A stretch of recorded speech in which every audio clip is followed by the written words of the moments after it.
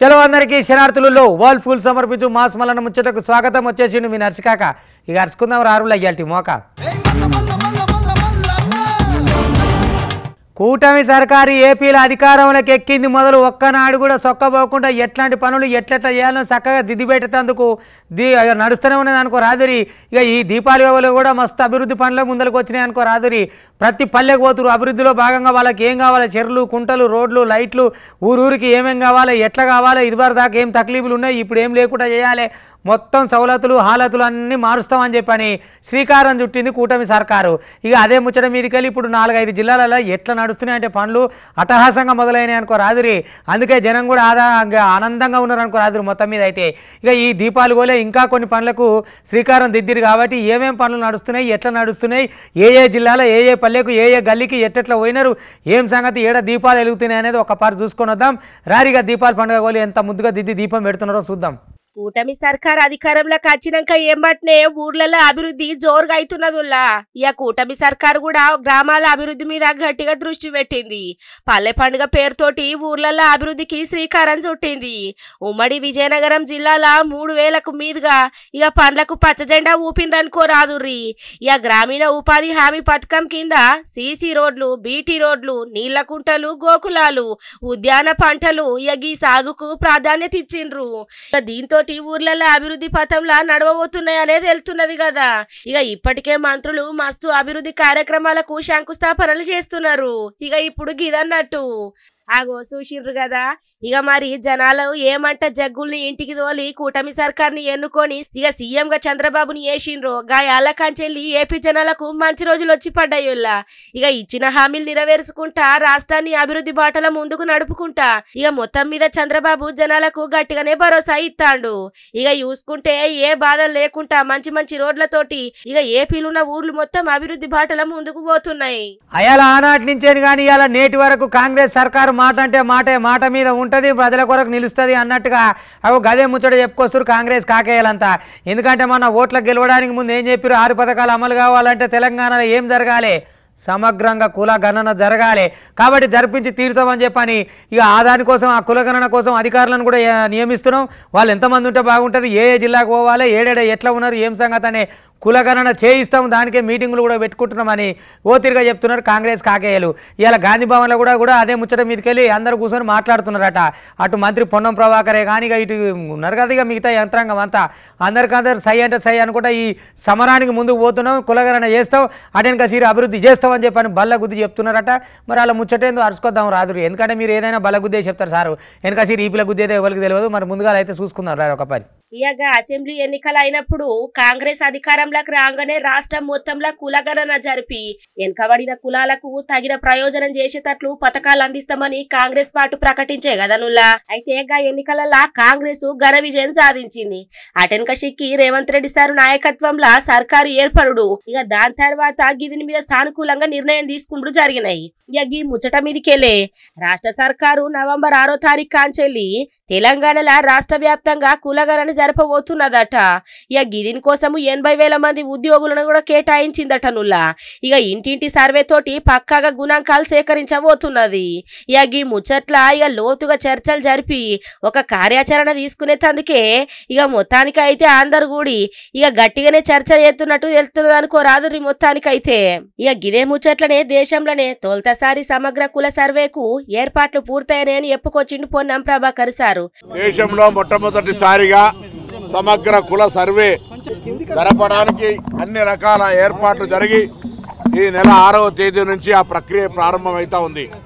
ఇందుకు సంబంధించి మా రాహుల్ గాంధీ గారు చెప్పిన విధంగా గౌరవ ముఖ్యమంత్రి రేవంత్ రెడ్డి గారు ఉప ముఖ్యమంత్రి బట్టి విక్రమార్క గారు మిగతా కేబినెట్ మంత్రులు గౌరవ శాసనసభ్యులు శాసనమండలి సభ్యులు అందరూ కూడా కలిసి ఈ యొక్క నిర్ణయాన్ని శాసనసభలో తీర్మానం ద్వారా ప్రవేశపెట్టి దానికి ముందు కేబినెట్ తీర్మానం చేసుకొని ఈరోజు జీవో పద్దెనిమిది ద్వారా ఈ యొక్క సర్వేను చేయడానికి అన్ని రకాలుగా ఏర్పాట్లు చేస్తా ఉన్నాం. గాంధీ భవన్ లా కులగణన మీద కీలక సమావేశానికి హాజరైన మంత్రులు ఇక మొత్తానికైతే ఈ సమగ్ర సర్వేకు అందరు సహకరించాలని చెప్పుకొచ్చిండ్రు. ఇక పార్టీ పరంగానైతే ఇన్ఛార్జీలను పెడతామని చెప్పి మంత్రి పొన్నం సార్ మాట్లాడుకొచ్చిండు చూడుండ్రి. రాష్ట్రంలో ఉన్నటువంటి ప్రతి సామాజిక న్యాయ లేదా ఇతరత్ర సంఘాలకు సంబంధించిన ప్రతినిధులంతా ఈ సమగ్ర సర్వే సక్రమంగా జరిగి ప్రభుత్వానికి సరి అయిన విధంగా సమాచారం వచ్చి భవిష్యత్తులో అందరికీ న్యాయం జరిపే విధంగా ఉండడానికి ప్రతి ఒక్కరూ సహకరించాలని కోరుతూ ఉన్నాం. ముఖ్యమంత్రి రేవంత్ రెడ్డి గారి సూచన మేరకు అధికారికంగా కూడా త్వరలో అఖిలపక్ష సమావేశాన్ని కూడా ఏర్పాటు చేస్తాం. ఇందుకు సంబంధించి ఆగో చూసినారులా ఇక ఇంకో దిక్కు చూసుకుంటే కులగణన చేపట్టుడు చారిత్రాత్మక నిర్ణయమని మంత్రి కోమటిరెడ్డి వెంకటరెడ్డి సార్ కూడా మాట్లాడుకొచ్చిండు వెనకబడిన కులాల మీద బీఆర్ఎస్కు ప్రేమ లేదని. బీఆర్ఎస్ పార్టీ అధ్యక్షుడు ఫ్లోర్ లీడర్ వర్కింగ్ ప్రెసిడెంట్లు అంతా కేసీఆర్ కుటుంబ సభ్యులే అని. ఇక కాంగ్రెస్ పిసిసి చీఫ్ బలహీన వర్గాల నేత అని మంత్రి కోమటిరెడ్డి మాట్లాడుకొచ్చిండులా వాళ్ళకి ఏంటంటే ఈ వెనుకబడ్డ కులాల మీద దళితుల మీద ప్రేమ లేదు. దళిత ముఖ్యమంత్రి అని చెప్పి అధికారంలోకి వచ్చిన కేసీఆర్ గారు కనీసం దీని మీద స్పందించు. నీ పార్టీకి వర్కింగ్ ప్రెసిడెంట్ వేసుకుంటే నీ కొడుకునే వేసుకున్నావు. ఫ్లోర్ లీడర్గా వేసుకుంటే నువ్వే ఉంటావు. కానీ ఇలా కాంగ్రెస్ పార్టీ అఖిల పార్టీ కాంగ్రెస్ ఏసీ అధ్యక్షుడిగా కరిగే ఒక దళిత సామాజిక వర్గ స్వాతంత్ర సమరయోధుడు సీనియర్ నాయకుడు. ఇవాళ మా రాష్ట్రంలో బలహీన వర్గాలకు చెందిన మహేష్ కుమార్ గౌడ్ ఇవాళ పిసిసి ప్రెసిడెంట్గా ఉన్నాడు. డిప్యూటీ సీఎం ఒక దళితుడు డిప్యూటీ సీఎంగా ఉన్నారు. అంటే ఇది పార్టీ అంటే ఇది. ఇక కేసీఆర్ ఫామ్ హౌస్ కాంచెల్లి ప్రెస్ నోట్ అయినా విడుదల చేయాలా? లేకపోతే బీఆర్ఎస్ పార్టీ కనుమరుగా అవుతుందని చెప్పి మాట్లాడుకొచ్చిండు అనుకోరాదుర్రి ఇక సర్కార్ని విమర్శించుడే బీఆర్ఎస్ నేతలు పనిగా పెట్టుకున్నారని మస్తుగా నెగ్గరమైండు. ఇక మ- మళ్ళా మోపైంది కదా నువ్వు ఢిల్లీ నగరం మీద కాలుష్యము. ఇదివరకే కాలుష్య నగరం కాలుష్య నగరం అని ఉక్కిరి బిక్కిరి అయిపోయి జనాలందరూ నాయన ఎక్కడ దిక్కులేని నగరం అయిందిరా ఈ ఢిల్లీ? అనే కాడికి వచ్చింది. మళ్ళీ ఇప్పుడు దీపావళిగా రెండు రోజులు ఇవాళ ఉందో లేదో కథ మళ్ళీ కాలుష్యం పేరుకపోయిందట ఊపిరి ఆడతలేదట ఆగమాగం ఉన్నదట. ఇక మళ్ళీ దీపాలు రాగానే ఊకుంటారా? పటా పటా పటా పటా పటాకులు వేల్చా మళ్ళీ పొగలు లేప దుమ్ము దుమ్ము చేయ దుమారం చేయ. ఈ కాలుష్యంతో కథమయ్యేటట్టున్నది నగరం అంతా. అబ్బబ్బబ్బబ్బ. ఏం కాలుష్యం ఏం కాలుష్యం? మరి ఏ సర్కారు వచ్చినా ఈ కాలుష్య నివారణ ఎట్లా జరుగుతుంది ఏం కథో కానీ ఖాళీ లేకుండా కాలుష్యం అయితే నిండిపోయి కకావికలం చేస్తున్నది అక్కడ జనాల్ని. ఇక మరి అజ్జాలన్నట్టు రేపు దీపావళికి మళ్ళీ కాకరకొవ్వత్తులు చిచ్చుబుడ్డీలు బా తోక పటాకులు ఉల్లిగడ్డ మామూలని పట్టా పట్టా సిట్టా సిట్టా వేల్చి మళ్ళీ ఇంకిత కాలుష్యం పెంచుతారో ఏం కథ పోరి. అరే ఎక్కడి బాధరా ఆయన ఈ కాలుష్యం పాడైపోను? ఎక్కడి కాలుష్యము? ఏం కథ? మంచిగున్న ప్రకృతిని ఆగం చేసి అటెనక చిక్కి బాధపడితే ఏమత్తది చెప్పుండ్రి? ఇక ఇప్పుడు దేశ రాజధాని ఢిల్లీ పరిస్థితి కూడా అట్లనే ఉన్నది. ఇంకా ఇప్పుడు దేశ రాజధాని ఢిల్లీ వాయు కాలుష్యంతో ఉక్కిరి బిక్కిరి ఆడుతున్నది ఊపిరి ఇక ఎక్కడికక్కడ వాయు కాలుష్యం పెరిగిపోయి ఏం చేయాలనో తెలియని స్థితులు ఉన్నదనుకో రాదుర్రి. ఇక ఆరోగ్యుల కాంచెల్లి ఢిల్లీలా వాయు కాలుష్యం మస్తుగా పెరిగింది ఇంకా. ఇక దీపావళి పండుగకు ముందే గిట్లా గాలి నాణ్యత దారుణంగా పడిపోయింది పడిపోయిందిలా పొరుగు రాష్ట్రాలలో వ్యర్థాలు తగలబెట్టుడుతోటి ఢిల్లీలో కాలుష్యం పెరిగిందట ఇక దీనికి తోడు పొగమంచు కూడా రాజధాని ప్రాంతాన్ని ఎక్కడికక్కడ మూసేసుకున్నది ఇక దీంతో నగరంలో ఎయిర్ క్వాలిటీ ఇండెక్స్ అధ్వాన స్థితికి చేరినట్టు కాలుష్య నియంత్రణ మండలి తెలుపుకొచ్చింది చూడుండ్రి पोल्यूशन तो यहाँ पे आप देख ही सकते हो बहुत काफ़ी बिखरा पड़ा है और अ, इस पॉल्यूशन की वजह से मतलब ऐसा लगता है कि मतलब दम घुटता है मतलब इंसान का ऐसे जैसे कि थोड़ा सा महसूस होता है और काफ़ी आप देख रहे हो चारों तरफ अंधेरा छाया हुआ है ऐसा मतलब लग रहा है कि ठंड का मौसम पूरा आ गया है पर अभी ठंड आया नहीं है अभी आपको पता है अभी दिवाली में टाइम है दिवाली के बाद छठ आती है तब ठंड का मौसम स्टार्ट होता है बट यहाँ पे पोल्यूशन काफ़ी ज़्यादा है ఆగో సూచిన రాణుల ఎట్లున్నదో కథ ఏడి కాడ వలిపోయిందట ఇక ఆరుద్దుల కాంచెల్లే మస్తు ఆగ మీనున్నదట ఢిల్లీ కాడ మొత్తము ఇక మొత్తానికైతే పొరుగు రాష్ట్రాలలో వ్యర్థాలను ఎక్కడికక్కడ తలగబెట్టుడుతోటి కాలుష్యం ఇంకిత పెరిగిందట. ఇక దిక్కుమల్లయాన్ని తలగబెడతారు కదా ప్లాస్టిక్ అవోటి ఇవ్వోటి అన్ని. ఇక దాంతో మంచుకున్న గాలి ఇంత ఆగమైపాయి. పండుగకు ముందే గాలంతా నాణ్యత లేకుండా దారుణంగా పడిపాయి ఇక air quality and weather forecasting and research నివేదిక ప్రకారము గాలి నాణ్యత నాలుగు వందల నలభై ఏడుకు పడిపోవడం అంటే ఇక దాన్ని తీవ్ర వాయు కాలుష్యంగా పరిగణించచ్చట చూడుండ్రి. ఇక ఇంకేడున్నది చెప్పుండ్రి. ఇక మరి అయితే మన అంతానికి దారి తీసుకున్నట్టే కదా దిక్కుమల్లయాన్ని వాడుకుంటా వాయు కాలుష్యం చేసుకొని మనం బాధపడితే ఏమత్తదులా ఆ, ఇక దీపాల పండుగ దగ్గరికి వచ్చింది కదా నువ్వు ఇంకేమున్నది తెల్లారితే దీపాలేనా? ఇక కానీ జర జాగ్రత్తగా ఉండురి. ఇండ్లల్లో దుకాణాలు పెట్టుడు దుకాణాలు బాంబులు అయ్యే బాంబుల దుకాణాలు పెట్టుడు. అవి అనుకోకుండా అంటుకునుడు లేకపోతే ఆగభాగం చేసుడు. జాగ్రత్తలు తీసుకోవాలి. సుమా దీవుల పండుగ అంటే మామూలు పండుగ కాదు. ఒక మన దేశంలో కాదు. ఇక అటు బయట దేశాల పొంటి కూడా బ్రహ్మాండంగా అవుతుంది. ఎందుకంటే ఆడ కూడా మనోళ్ళే ఉన్నారు కదా. మన తెలుగు లేడుంటే ఆడ దీపాల పండుగ జోరుగా అవుతుంది. దీపాలు పెట్టి పెట్టిరా? విద్యుత్ కాంతులతో నగరాలన్నీ తల తల తల మెరిసిపోవాలి. ఇక పటాకులతో పటపట పటపట పట ఆడాలి. కానీ ప్రమాదాలకు దూరంగా ఉండురి పొరగాల బాంబులు కాల్చే దగ్గర ఊకనే అడగోలుగా వందల కొందరు అడీలు కొనుక్కొచ్చి పట్టా పట్టా తెలంగాణ నిద్రలేక సిట్టా సిట్టా కాల్చి అగమాగం చేసి మళ్ళీ సితి సితి చేయకూరి వీధులన్నీ. ఇక తెల్లారి చూడాలి కాగితాలు పౌడర్లు బాంబుల తోకలు ఈకలు ఇవే సరిపోతాయి. పైలంగా ఉండురి ప్రమాదాలకు దూరంగా ఉండురి పండుగ నిమ్మలంగా జరుపుకొని ఆ కాలుష్యం చేయకూరి దీపావళి పండుగ వస్తే చాలు మస్తు గమ్మత్ అనిపిస్తుంది ఎందుకంటే ఇంటింటికి దీపాలు వెలుగుతాయి. భలే కనబడుతుంది అనుకో రాదురు ఏ ఊర్లో చూసినా కూడా. ఇక మరి అమెరికాలో కూడా దీపావళి కాంతులు వెలుగులు ఈలుతున్నాయి అమెరికాలోనే అతిపెద్ద భవనమైన వరల్డ్ ట్రేడ్ సెంటర్ విద్యుత్ ఎలుగులతోటి కొత్తగా కనబడుతున్నది అనుకో రాదుర్రి. ఇక రేపు దీపావళి పండుగను పురస్కరించుకొని వైబ్రంట్ కలర్స్ తోటి వరల్డ్ ట్రేడ్ సెంటర్ మస్తు మస్తుగా రూపుదిద్దిండ్రు. ప్రకాశవంతమైన విద్యుత్ దీప కాంతులతోటి యగ భవనము జిగేల్ జిగేల్ మంటూ కనబడుతున్నది కావాలంటే చూడుండ్రి. ఆగో చూసినారులా భలే గమ్మత్తున్నది కదా ఇక మొత్తానికైతే గదిని చూస్తందుకు మస్తు మంది వస్తున్నారు లైట్లతోటి మిల్కు మిల్కుమని మెరుసుకుంటా ఎంత గమ్మత్తు కనబడుతున్నది. ఇక మరి గీ ముచ్చట మీదనే ఇక జనావాసాల టపాసుల దుకాణాలు ఏర్పాటు చేయొద్దని మంత్రి పొన్నం ప్రభాకర్ సార్ అయితే చెప్పుకొచ్చిండులా. ఇక రాష్ట్ర జనాలకు దీపావళి శుభాకాంక్షలను ముందుగాల చెప్పిన పొన్నం సారు అగ్ని ప్రమాదాలు జరగకుండా జాగ్రత్తలు మస్తుగా పాటించాలా. ఇక అందుకు అధికారులు కూడా చర్యలు చేపట్టాలని ఆదేశించుకొచ్చిండు చూడుండ్రి. దీపావళి ఒక వేడుక.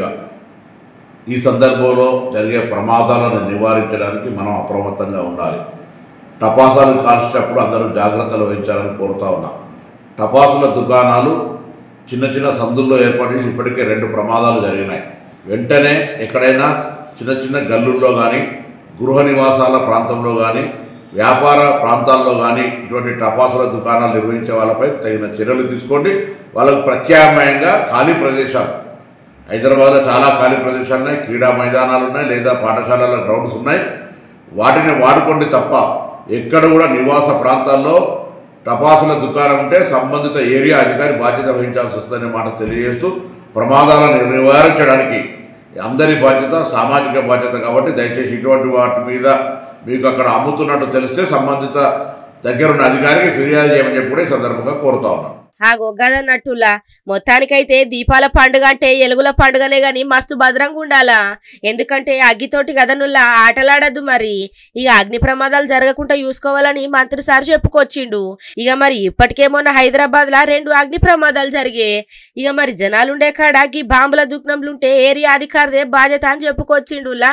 ప్రమాదాలు అరిగట్టుడు అందరి సామాజిక బాధ్యత అన్న మంత్రి సారు జనావాసాలల్లా టపాసులు అమ్మితే సంబంధిత అధికారికి ఫిర్యాదు చేయాలని పిలుపునిచ్చిండు. సకదనం ఏదైనా జరగక ముందుకు చేయాలి కానీ ఎవడన్నా ఎవడు పడితే వాడు బెదిరిస్తా అంటే మరి నీకు సంబంధాలు ఉన్నాయట నీ సకదనం పాడుగాను. వాని భయానికి ఎవరో పైసలు అడిగిరట అడగంగానే వేసినట్టు వేసినాక వెనక చీర చూస్తే అది సైబర్ నేరం అట అయ్యో దేవుడా ఎక్కడ వచ్చిన గోల అంటే ఏమన్నా దమాకున్న అది నీకు? ఎవడు పడితే వాడు ఫోన్ చేయగానే నెంబర్ పంపగానే వానికి పైసలు పంపుతుండొచ్చురా? కథకున్న వారేది మరి నీ కాడ ఏమైనా భయం ఉందా నిజంగానే? లేకపోతే వాళ్ళ కాడ ఏమైనా కథ ఉందా? మళ్ళీ ఏమెరగనే లేక పోలీసు వాళ్ళ దగ్గరికి పోయి సారు నా పైసలు పోయినాయి అన్నాడట. ఇక పోలీసు వాళ్ళు తిప్పలు పడాలి ఇప్పుడు. ఇవాళ రేపట్ల ఆన్లైన్ మోసాలు మంచిగా లేవు. ముక్కు ముక్కలు నిలవనోళ్ళు కూడా బెదిరిస్తుంటారు. ఈ నెంబర్ చెప్పు ఆ నెంబర్ చెప్పు అంటారు. ఎవరికి పడితే వానికి భయపడితే చేసిన కష్టం అంతా గంగల భయపాయ ఇట్లా మోసపోకురు ఇవాళ రేపట్ల మొత్తం తొండిగాలు సిడుగ్గాలు మొదలయ్యారు ఇట్లా ఫోన్ కొట్టి అట్లా పసిరెత్తుకపోతందుకు మోపయ్యారు అనుకో రాదురు జనాల దగ్గర. అగో గసొంటి మోసాలకు దూరంగా ఉండరు ఏదైనా అనుమానం వచ్చిందంటే పోలీసు వాళ్ళకి చెప్పురి టోల్ ఫ్రీ నెంబర్లు ఉంటాయి. వాళ్ళకి జేజూరికి అంతేగాని ఇట్లా మోసపోతే ఏముంటుంది పాడైపోను? ఏముగా రోగం ఇది పాడుగాను? గనిగాను డెబ్బై రెండు లక్షల రూపాయలు పోయినాక ఏం చక్కదనం చక్కదనం ముందుగా నష్టం ఇక చూడురు గీల కథ. ఒక పక్క ఎంత మొత్తుకున్నా కూడా లచ్చల లచ్చల రూపాయలు ధారవోసుకుంటా భలే మోసపోతునులా సైబర్ మోసగాళ్ళ చేతుల. అనంతపురం జిల్లాల సైబర్ నేరగాళ్ళు రెచ్చిపోయినరు గుత్తిలున్న రైల్వే ఉద్యోగి షేక్ మహమ్మద్కు ఇక ఏకంగా డెబ్బై రెండు లక్షల కూచుటోపి పెట్టిపోయినరు అనుకో రాదురు ఈ కేటుగాళ్ళు. ఇక మేము ముంబై క్రైమ్ బ్రాంచ్ పోలీసులమని చెప్పి ఫోన్ చేసిండ్రట ఆయనకు ఇక ఎన్నడో జరిగిన ముంబై బాంబ్ బ్లాస్ట్ కేసుల వలి పేరు ఉన్నదని చెప్పి బెదిరించిండ్రట. ఇక అరెస్ట్ చేయకుండా ఉండాలంటే పైసలు పంపాలని చెప్పి డిమాండ్ చేసిండ్రట. ఇక నేరగాండ్ల ఫోన్ కాల్ తోటి వణికిపోయిన మహమ్మద్ వలి ఏం చేస్తాడు?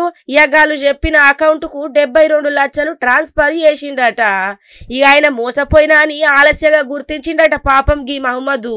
ఇంకేమున్నది? గుత్తి పోలీస్ స్టేషన్ లా ఇక ఫిర్యాదు చేసిండట. ఇక గీ ముచ్చట మీద మొత్తానికైతే గట్టిగా తీసుకున్న ఎస్పీ లోతుగా దర్యాప్తు చేయాలని పోలీసులకు చెప్పుకొచ్చిండట చూడుండ్రి. మీరు గవర్నమెంట్ ఎంప్లాయీ కాబట్టి తర్వాత అందరూ ఇద్దరు ఆడపిల్లలు ఉన్నారు. వాళ్ళిద్దరికి తర్వాత సొసైటీలో కూడా మీకు ఇబ్బంది అవుతుంది ప్రాబ్లం ప్రాబ్లం అవుతుంది. రేపొద్దున మీకు సెటిల్మెంట్ కూడా అమౌంట్ కూడా రాకపోవచ్చు రిటైర్మెంట్ అయిపోయిన తర్వాత. అందుకోసం చెప్పేసి అరెస్ట్ కాకుండా మీ అరెస్ట్ కాకుండా ఉండాలంటే మీకు ప్రయారిటీ ఇన్వెస్టిగేషన్ చేయాల్సి ఉంటుంది. దాని దానికోసము సమ్ అమౌంట్ మీరు గవర్నమెంట్ అకౌంట్లోకి ట్రాన్స్ఫర్ చేయాలి చేయాల్సి ఉంటుంది. వెళ్ళిపోమని చెప్పింది ఇమీడియట్గా బ్యాంకు వెళ్ళిపోయమని చెప్పేసి పన్నెండు ఫస్ట్ పన్నెండు లక్షలు ట్రాన్స్ఫర్ చేయమని చెప్పింది. హాగో చూసినారులా ఎప్పుడో జరిగిన బాంబ్లో నీ పేరున్నది కథమిగా నీ పని అయిపోయిందని చెప్పంగానే పాపం డెబ్బై రెండు లక్షలు గట్ల ట్రాన్స్ఫర్ కొట్టిండటాలు పంపిన నంబర్కు. ఇక మరి లేటుగా తెలిసిందట ముచ్చట ఇక అటెనక సిక్కి పోలీసుల కాడుకోయి అయ్యా నేను మోసపోయినా. సైబర్ నేరగాళ్ళు గిట్ల ఫోన్ కొట్టిండ్రు గిన్ని పైసలు కావాలని డిమాండ్ చేసిండ్రు. ఇక మరి నా కోసమని నేను డెబ్బై రెండు లక్షలు పంపిన అటెనక సిక్కి తెలిసింది గాళ్ళు మోసగాళ్ళని మళ్ళీ ఏం చేస్తారో చేయుండని పోలీసు వాళ్ళ కాడికి పోయిండట. ఇక గివన్నటి వాటి వాల్ ఫుల్ చూపించు మాస్ మలన ఉంచట్లు చూస్తూనే ఉండరు మళ్ళీ రేపు ఇది వరదాకా మీ టీవీ ఫైవ్. ఇగుంటా